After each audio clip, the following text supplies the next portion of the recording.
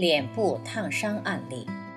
二零一六年十月二十六日晚约七点三十分，初三学生十五岁，在强行打开煮粥的高压锅时，被高压锅里的气体烫伤脸部、颈部，紧急打电话联系山东省职工前来处理。先用温姜汤清洗脸部，涂抹姜泥，用热姜汤与姜粉调制。敷上姜泥约四十分钟后，几乎没有疼痛感。处理过程中一直用红豆袋温敷。十月二十六日当晚处理情况。十月二十八日第三天到爱心之家推广站按推相对应的原始点，考虑到脸部用姜泥不方便，改用姜膏；破皮流水的地方用姜粉。十月二十九日，第四天，父母接回家，推广站的职工电话联系处理。十月三十日，第五天。十一月一日，第七天。十一月三日，第九天。十一月四日，第十天。十一月五日，第十一天。十一月七日，第十三天。周一返回学校上学了。十一月十一日，第十七天放学的路上，前后比对。第三天，第十一天。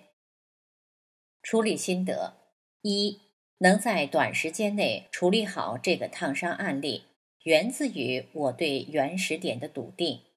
因本人在二零一六年九月六日被汽车水箱热水烫伤手臂。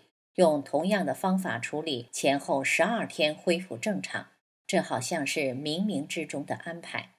二，这次处理过程中，由于脸部、颈部较多水泡，前两天早晚敷姜泥两次，清除患处的干姜泥时，用温姜汤打湿后清理干净。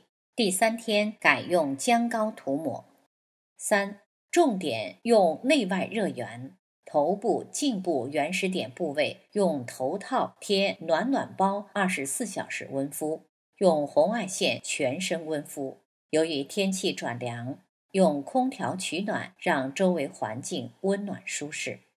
四内热源，由于喝不下浓姜汤，改用淡姜汤与服用姜丸，每日服用姜丸约三十至四十克。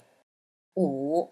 交代女孩妈妈，处理期间杜绝一切寒凉饮食，尽量不外出，患处不得碰水，可以用温姜汤擦洗。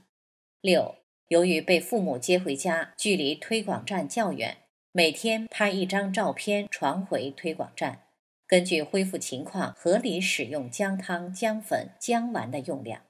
整个处理过程十七天，几乎全部恢复。而且没有留下疤痕，感恩山东省职工的协助，感恩传播原始点的所有职工老师，感恩张医师研发原始点并无私的奉献给全人类。